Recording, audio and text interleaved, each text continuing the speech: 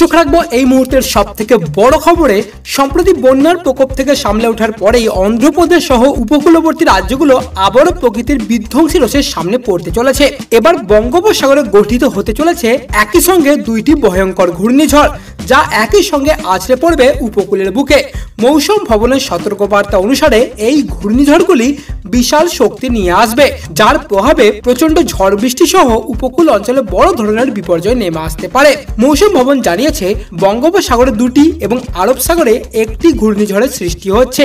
এর মধ্যে বঙ্গোপসাগরের ঘূর্ণিঝড়গুলি সরাসরি আঘাত হানতে পারে অন্ধ্রপ্রদেশের উপকূলের দিকে।